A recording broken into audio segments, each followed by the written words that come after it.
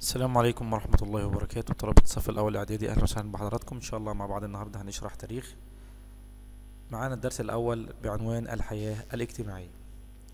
بداية المصري القديم عرف أن الوحدة والتماسك هم بين أفراد المجتمع هي أساس التقدم والازدهار. لذلك حرص المصري القديم على تطبيق العدالة والمساواة بين أفراد المجتمع أمام القانون لذلك عاش حياة مستقرة يسودها الحب والود. عندي تعريف بيقول لك ما المقصود بالحياة الاجتماعية. تعريف الحياة الاجتماعية تقول لي هي العادات والتقاليد التي تتمسك بها جميع الطبقات في المجتمع المصري القديم من حيث الملبس والمشرب والمأكل. طب عندي تعريف كده يقول لك ما المقصود بالطبقة الاجتماعية؟ تقول لي هي الفئات التي يتكون منها المجتمع المصري من طبقة عليا ووسطى ودنيا وما بينهما من علاقات. يعني هقول التعريف هي مجموعة من الأفراد تربطهم روابط وأهداف ومصالح مشتركة. نقول تاني التعريف الطبقة الاجتماعية. تقول لي هي عبارة عن مجموعة من الأفراد تربطهم روابط وأهداف ومصالح مشتركة. آه عندي سؤال تاني يقول لك بمتفسر كان المجتمع المصري القديم مجتمع طبقي أو يقول لك دلل ان أن المجتمع المصري القديم كان مجتمع طبقي. الدليل هيقول انه كان يتكون من مجموعة من الطبقات. عندي في الطبقة الأولى فيها الفرعون وأسرته الطبقة الثانية ضمت الوزراء وكبار الكهنة والكتبة وحكام الأقاليم. في الطبقة الثالثة ضمت صغار الموظفين والتجار وأصحاب الحرف المتميزة. الطبقة الرابعة تضم الفلاحين والحرفيين.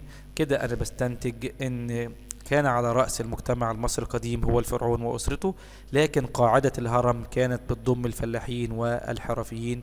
زي ما إحنا شايفين كده أن المجتمع المصري القديم كان يتكون من أربع طبقات. ده بالنسبة لطبقات المجتمع. هنيجي بعد كده على الأسرة. طبعا الأسرة زي دلوقتي برضه بتتكون من الأب والأم والأبناء. كل واحد فيهم له ليه حقوق وعليه واجبات لازم يلتزم بها. فهنبدأ بالأب. الأب طبعا حقوقه الطاعة والتقدير والاحترام من الزوجة والأبناء لكن واجباته هو رب الأسرة هو راعيها ويوفر كل احتياجات الأسرة. تمام؟ من مأكل ومشرب وغذاء وغيره ومسكن. طيب نيجي بعد كده على الأم. الأم كان لها حق الوراثة والشهادة والتعاقد والبيع والشراء. طيب واجباتها إيه؟ في عندي سؤال مهم جدا ده سؤال امتحانات. يقول لك بما تفسر احتلت المرأة مكانة مهمة في المجتمع المصري القديم فإجابتك هتكون إيه؟ نظرا لما تقوم به من أعمال من نظافة نظافة البيت وطهي وتربية الأبناء ومساعدة زوجها في بعض الأعمال. يبقى طبعا ده بالنسبة للأم. عرفنا حقوقها وعرفنا واجباتها. هنيجي بعد كده على الأبناء. الأبناء كان لهم العديد من الحقوق مثل أن فرض على الآباء إنهم يعلموهم الآداب والسلوك الحميد والأخلاق الطيبة ويعلمونهم العلوم المختلفة. أما واجبات الأبناء للآباء هي التفوق الدراسي واحترام ومساعدة الآباء ورعاية قبورهم بعد وفاتهم. طب نيجي نشوف كده العلاقة الزوجية اللي كانت بين المصري القديم في المجتمع المصري. كان المصري القديم يهتم بأسرته يحرص على إسعاد زوجته ولا ينازعها ويعاملها بكل رفق وحنان ويساعدها في في المنزل أحيانا إذا اقتضى الأمر في ذلك. طيب هنيجي نشوف المسكن. خلي بالك إن المسكن والأساس اختلفت باختلاف الطبقات. فامتاز المصري القديم عموما بالبساطة فكان يبنى من الطوب اللبن. اللي هو الطوب المبني من طمي النيل. ما عدا الفتحات الأبواب والأعمدة كانت من الإيه؟ الحجارة. طيب تتكون المساكن من طابق واحد أو طابقين وحجرة واحدة أو حجرتين وامتازت مساكن الأغنياء بالاتساع وكان يحيط بها الحدائق وزينت جدرانها بالزخارف. يبقى مساكن الفقراء كانت طابق واحد أو طابقين حجرة أو حجرتين أما مساكن الأغنياء فاتسمت أنها كانت متسعة يحيط بها الحدائق وزينت جدرانها بالزخارف والنقوش. طيب تعالى بقى نيجي نشوف قصر الفرعون. امتاز قصر الفرعون بالعلو والفخامة والاتساع. ده دليل على العظمة في ذلك الوقت. طب نيجي نشوف الأساس. برضو يا جماعة الأساس اختلفت باختلاف الطبقات واختلفت باختلاف الظروف المعيشية. فطبعا هنلاقي إن الأساس اللي كان في مسكن الفقراء كان يتسم بالبساطة. أما في المساكن الأغنياء فكانت أحسن حالا. أما مسكن ال- الأساس اللي كانت موجود في قصر الفرعون طبعا اتسم بالإيه؟ بالفخامة. طب نيجي على الملابس. في عندي سؤال مهم برضو يقول لك بما تفسر اختلاف الملابس في مصر القديمة هتقول لي اختلفت الملابس على حسب اختلاف الطبقات والظروف المعيشية. فديجي كده نتعرف على ملابس عامة الشعب. عوام الشعب يا شباب كانوا ملابسهم تصنع من الكتان أما الأغنياء فكانوا يلبسون الحرير المستورد من فينيقيا وكانت تدرس بالذهب والفضة. ده بالنسبة للملابس. هنيجي بعد كده على العادات والزينة والتقاليد. أحب المصري القديم الزينة استخدم العقود استخدم الأقراط استخدم الأساور استخدم العطور استخدم الأمشاط والحنة والكحل والخواتم. طب نيجي كده على العادات والتقاليد اختلفت حسب اختلاف إيه الموقف. فأنا عندي الطعام المصري القديم كان يتناول طعامه على الحصير بعد كده عند تطور حياته استخدم المواد المنخفضة ثم بعد التطور استخدم المواد المرتفعة ذات المقاعد. المصري القديم عارف نظام الوجبات الثلاثة في اليوم وغسل الأيدي قبل الأكل وبعد الأكل.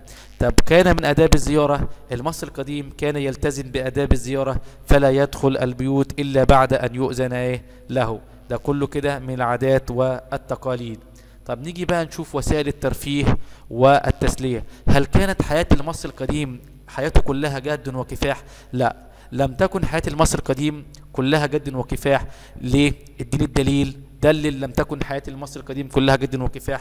حيث لجأ المصري القديم إلى بعض الوسائل للترويح عن نفسه من وسائل التسلية والترفيه مثل ممارسة الرياضة. فهنيجي كده في رياضة عندي في رياضة الصيد زي صيد السمان والحمام والبط والأسماك والتماسيح والغزلان والأسود. طب عندي أدوات الصيد كان بيستخدم إيه في الصيد؟ كان بيستخدم عصاية الرماية كان بيستخدم الحربة كان بيستخدم الشص اللي هي الصنارة كان بيستخدم الشباك. هنيجي بعد كده على الالعاب الرياضية. كان في ألعاب بتمارسها الرجال يمارسها الرجال زي المصارعة زي المبارزة زي رفع الأثقال زي التحطيب. خلي بالك دي ألعاب الإيه؟ الرجال. مصارعة مبارزة رفع أثقال تحطيب. وعندي ألعاب بتعتمد على التفكير زي الشطرنج.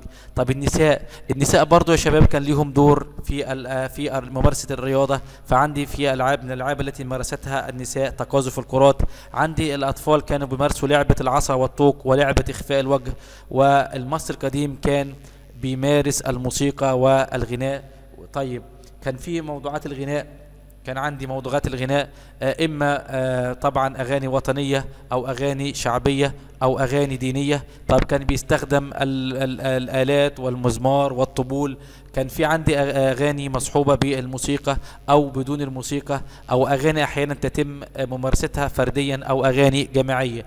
ده بالنسبة لموضوعات الغناء. طيب لما يقول لك دلل أن المصري القديم لم تكن حياته كلها جد وكفاح هتقول لي حيث إيه؟ كان يوجد العديد من الألعاب والموسيقى والغناء. طب نيجي على الأعياد. الأعياد والاحتفالات. في أعياد دينية زي عيد الإله آمون وعيد الإله أوزاريس. في عندي أعياد سياسية زي عيد جلوس الفرعون على العرش. في عندي أعياد اجتماعية مثل عيد الربيع وعيد رأس السنة. في عندي أعياد عسكرية مثل عيد النصر. في عندي أعياد اقتصادية مثل أعياد الفيضان وعيد البذر وعيد الحصاد. تمام كده؟ يبقى أنا عندي كده لما أجيب لك كده من أنواع الأعياد الدينية نقط ونقط. طب تقول لي إيه؟ أعياد آه آمون وأوزاريس. طب أنا عندي من الاعياد السياسية نقط ونقط. تقول لي إيه؟ أعياد آه جلوس الفرعون على العرش. طبعا عندي الاعياد الاجتماعية زي عيد إيه وعيد إيه؟ هتقول لي طبعا عيد رأس السنة وعيد الربيع. طب أقول لك كان من الأعياد الاقتصادية عيد جلوس الفرعون على العرش. الكلام ده صح ولا غلط؟ طبعا هتقول لي غلط لأنها لأن عيد جلوس الفرعون على العرش أعياد سياسية. كده يا جماعة نكون خلصنا الدرس. شكرا لكم. والسلام عليكم ورحمة الله وبركاته.